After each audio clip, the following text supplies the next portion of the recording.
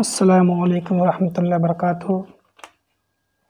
मैं आपका भाई मोहम्मद अख्तरी हाजिर खिदमत हूँ एक नई वीडियो के साथ। इन उम्मीद है आप भी सब खैर वाफ़ से होंगे। कुछ लोगों ने पूछा कि इमाम साहब, बच्चों को नमाज़ किस उम्र पे सिखाई जाए? तो आइए इसी ताल्लुक़ से आज मैं वीडियो बना रहा हूँ ताकि आपको मालूम हो जाए कि बच्चे को कब नमाज़ पढ़ना सिखाया जाए और कब नमाज़ के लिए मारा जाए।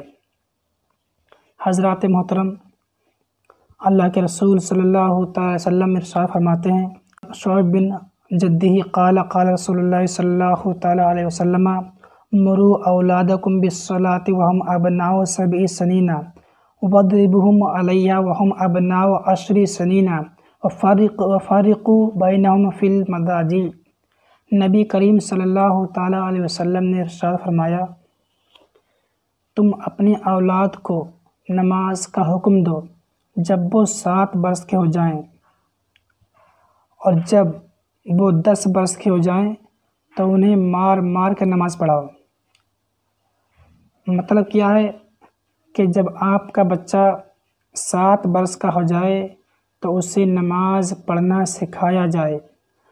और जब आपका बच्चा दस बरस का हो जाए तो उसे मार मार कर नमाज़ पढ़ाई जाए। हज़रत मोहतरम, ये हमारे नबी करीम सल्लल्लाहु अलैहि वसल्लम का फरमान। और ईमान और अक़ीदा सही करने के बाद सब फ़र्ज़ों से बड़ा फ़र्ज़ नमाज़ है। कुरान हदीस में उसकी बहुत ताक़द आई, जो नमाज़ को फ़र्ज़ न माने या हल्का जाने वो काफिर है और जो ना पढ़े बड़ा गुनाहगार। आखिरत में जहन्नम में डाला जाएगा, बादशाह इस्लाम उसको कत्ल कर देगा। हज़रत मोहतरम, नमाज़ के लिए, नमाज़ की कुछ शर्तें हैं, उनका जानना भी बहुत ही ज़रूरी है। आइए मैं तुम्हें बताता हूँ कि नमाज़ की कितनी शर्तें हैं। नमाज़ की छः शर्तें हैं। तहारत, नंबर दो, सतर औरत, नंबर तीन, वक्त, नंबर चार इस्तबल क़िबला, नंबर पाँच, नियत, नंबर छः तकबीर तहरीमा। अब आइए एक एक की वजाहत करते हैं। पहली शर्त, तहारत। उसका मतलब ये कि नमाजी के बदन, कपड़े और नमाज़ की जगह पर कोई नजासत, जैसे पेशाब या पखाना, खून, शराब, गोबर, लीद, मुर्गी की बीट वगैरह ना लगी हो और नमाजी बेगुसल बेबुज ना हो। दूसरी शर्त, सतर औरत, यानी मर्द का बदन नाप से लेकर घुटनों तक ढका हो, घुटने खुले ना रहें। और औरत का तमाम बदन ढका हुआ हो सिवाय मुँह और हथेली के और टखनों तक पैर के उप, पैर के और टखने भी ढके रहें। तीसरी शर्त वक्त। यानी जिस नमाज़ के लिए जो वक्त मुकर है, वो नमाज़ उसी वक्त में पढ़ी जाए, जैसे फजर की नमाज़ सुबह शादी से लेकर सूरज निकलने से पहले तक पढ़ी जाए। और जहर की नमाज़ सूरज ढलने के बाद से हर चीज़ के साय के दूने होने तक, अलावा उसके साय असली के और असर के साय के दुगना होने के बाद से सूरज डूबने तक और मगरिब की सूरज डूबने के बाद से सफ़ेदी गायब होने तक और ईशा की सफ़ेदी गायब होने के बाद से सुबह सादिक शुरू होने से पहले तक। चौथी शर्त इस्तबाल क़िबला, यानी काबा शरीफ की तरफ़ मुँह करना।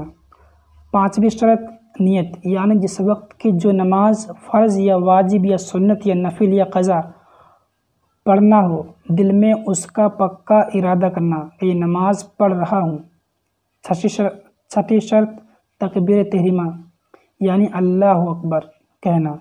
ये आखिरी शर्त है कि इसके कहते ही, इसके कहते ही नमाज़ शुरू हो गई। अब अगर किसी बंदे ने किसी से बोला या कुछ कहा, या पिया, या खाया, या कोई काम खिलाफ नमाज़ किया तो नमाज़ टूट जाएगी।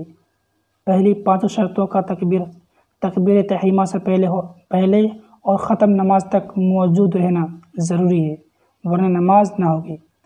हज़रत मोहतरम,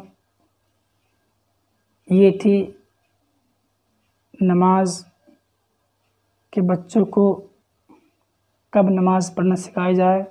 और कब नमाज़ के लिए मारा जाए।